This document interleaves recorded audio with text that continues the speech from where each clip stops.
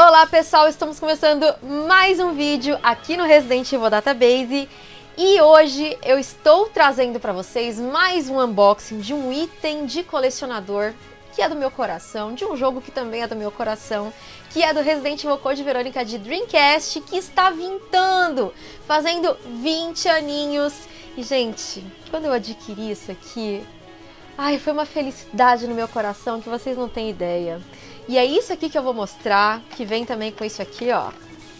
Ó, quem assiste as nossas lives já viu eu mostrando em live, fazendo unboxing, mas agora eu vou fazer aqui também. Então, se você não segue as nossas lives, já vai lá na Mixer, já cria sua conta, mixer.com/redatabase ou residentevildatabase.com/lives. Já cria sua conta, já segue o canal, a gente faz lives lá toda terça, quarta e quinta às três da tarde e aqui no YouTube toda sexta-feira às 18 horas. Então, já ativa sininho, notificação de tudo e também tem na descrição um link para você entrar para o nosso canal de Telegram. Você assina o canal de Telegram e aí você sempre é notificado. Então, né, em vez de ficar só confiando aí em notificações também, para garantir, já segue também e segue também as nossas redes sociais. E aí você fica sabendo de tudo. Fica bem informado, já segue tudo, é tudo de graça mesmo, então segue. Mas antes de eu começar a mostrar esses itens maravilhosos, eu vou pedir para que você se inscreva no canal, deixe o seu like, porque ajuda muito. Sério, gente, um likezinho, um likezinho ajuda muito a Moni aqui. Então já deixa o seu like e compartilhe o canal com seus amigos para que a gente possa continuar crescendo aqui no YouTube.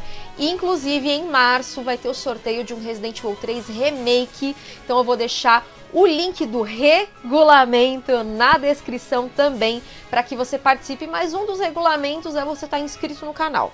Isso você já fez? Você já chamou seus amigos? Porque quando a gente chegar em 70 mil inscritos, vai ter outro sorteio. Então, ó, já capricha, já compartilha, chama geral aí, que aí quanto mais pessoas, mais sorteios, e é isso aí. E olha lá o regulamento para você concorrer a um Resident Evil 3 Remake.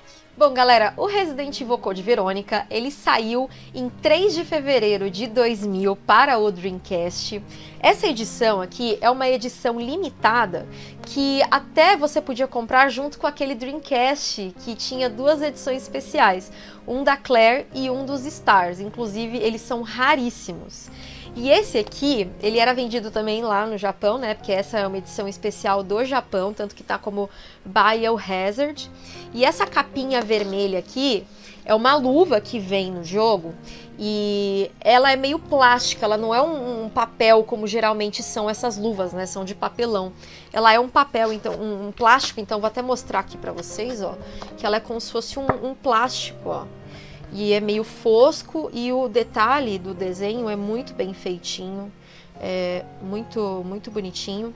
E aqui quando você vira no verso, ele tem um pedacinho da abertura, né?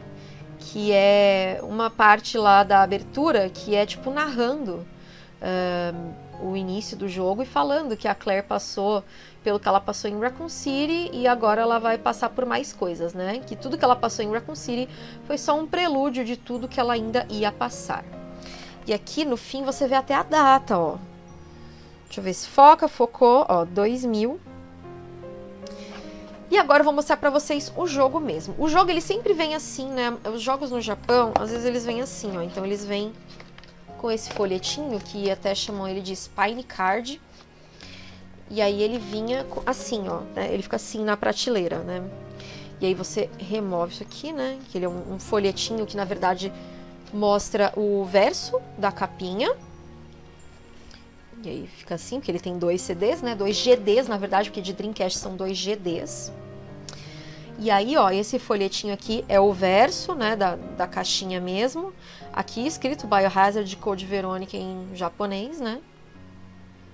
de Dreamcast, que inclusive é o console da minha vida. Eu sou apaixonada pelo Dreamcast. E aí sim a gente remove aqui, ó. E aí a gente tem a caixinha, né? Biohazard Code Verônica de Dreamcast, ó. Esse aqui, o símbolo do Dreamcast. Vou tentar mostrar aqui pra vocês. Símbolo do Dreamcast. E como eu disse pra vocês, o jogo, o jogo de Dreamcast, o Code Verônica de Dreamcast, ele vinha com dois CDs que na verdade eram os GDs. Né? Eles chamavam de GDs. Não é DVD nem CD, é o GD. Mas antes de eu abrir, Só para vocês verem na lateralzinha aqui, ó, tá vendo? Em cima vem em inglês e embaixo em japonês. Aí aqui atrás vocês veem que é igualzinho, né, do Spine Card que eu acabei de mostrar, ó. É só para poder encaixar mesmo, né? E aqui tem uh, os detalhes, né, do, do jogo, todas as informações aqui, ó, do jogo e tudo mais. E essas artworks, aqui essa artwork do Steve, reparem que o Steve, inclusive, ó, ele não tá com aquela franjinha dele. Ele tá só com o cabelo de lado. E eu amo também, né, essa imagem aqui da capa também.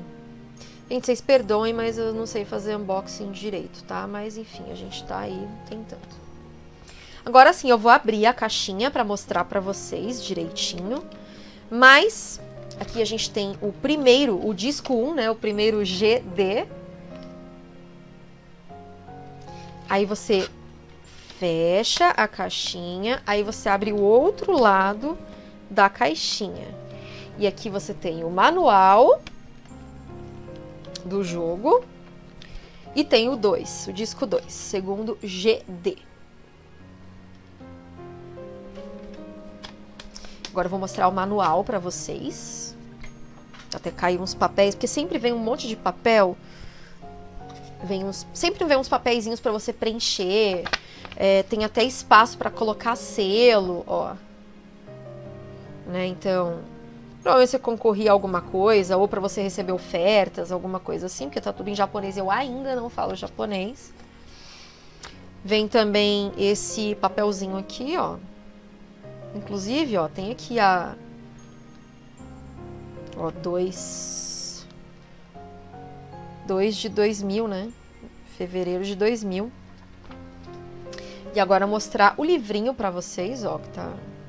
Saudades de quando vinha livrinhos, né, gente? Que saudade de quando os jogos vinham com livrinhos.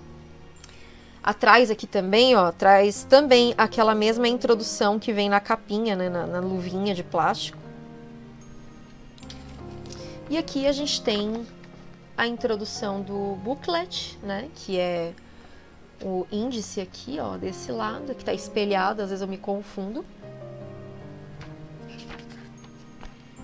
Aqui tem mais algumas informações, vou passar meio rapidamente porque tá tudo em japonês, né? Informações sobre os personagens e reparem no cabelo do Steve, como era diferente. Ele não tinha aquela franjinha nessa primeira versão de Biohazard Code Verônica, porque existe essa versão e existe a X, que foi a que saiu depois, né? Que foi é, lançada para tudo, né? Que é Extended. E aí depois colocaram uma franjinha nele. Aqui mais detalhes do livrinho. Aqui o controle de Dreamcast, que as pessoas não gostam do controle do Dreamcast, mas eu amo. E uma curiosidade sobre o controle do Dreamcast é que aqui, esse visorzinho do controle, é, você encaixa o VMU, que é a Visual Memory Unit, que é, é tipo um... é um memory card, mas ele parece um Tamagotchi, porque você também podia ver até as informações do personagem, dependendo do jogo. E até instalar joguinho nele também. Aqui a parte de options. Aqui mais informações sobre energia do personagem e tudo mais. Mais informações.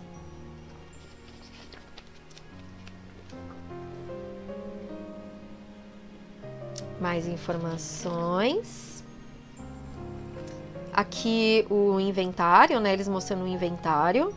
Inclusive no inventário do Code Verônica tem as informações da Claire, né? É, os dados dela e tudo mais. Aqui, explicando como você combina itens e tal.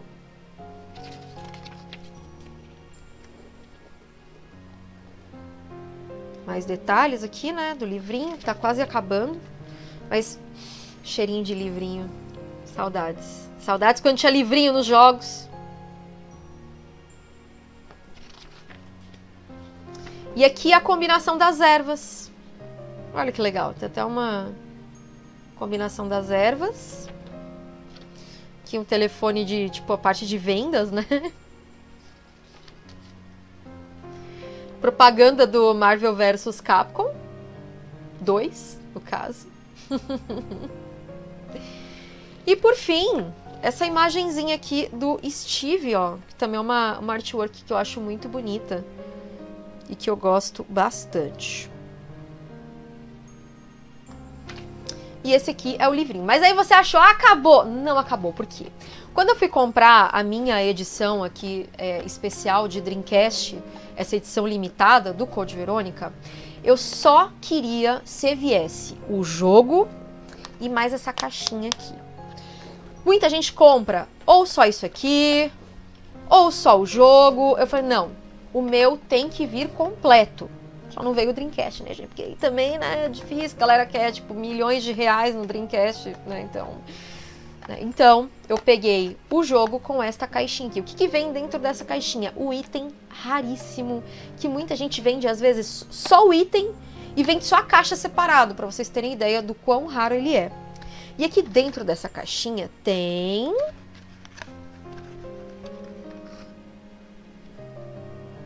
este cartão metálico com as informações da Claire na prisão de Rockford. E esse aqui é o número de identificação da Claire, né? Prisão Rockford. E o número dela é WKD 4496, WKD 4496. E aí você vê que aqui, ó, tem o símbolo da Umbrella. E tem mais uns detalhes aqui também, ó, tipo tem o símbolo da Capcom que não está querendo focar. E not for sale, não está à venda. Então a pessoa que me vendeu, bom, é dela, né? Ela faz o que ela quiser. Mas, tipo, loja não podia vender separa separadamente, né? Esse, esse negócio tá um pouco sujinho, gente, porque eu moro em Curitiba e pega muita umidade, mas qualquer hora eu vou limpar, tá? Desculpem eu não ter limpado para fazer essa gravação. E do outro lado aqui, a gente tem o símbolo dela mesmo, Let Me Live que é o símbolo da própria Claire. Tá batendo a luz aqui. E tem o, o nome né, do Code Verônica também. Tô tentando achar o melhor jeito de não ficar tão escuro. E aqui, ó, Biohazard Code Veronica. E assim também, dentro da caixinha, como eram raros esses itens, geralmente os itens são numerados, esses itens raros. E esse aqui era o 283.150. Esse é o, a plaquinha 283.150. E tem até o símbolo da Umbrella. Tô tentando fazer focar, gente. Sou uma péssima blogueirinha. Focou. Até o símbolo da Umbrella. capcom.co.jp barra Umbrella. Nunca tentei colocar esse símbolo.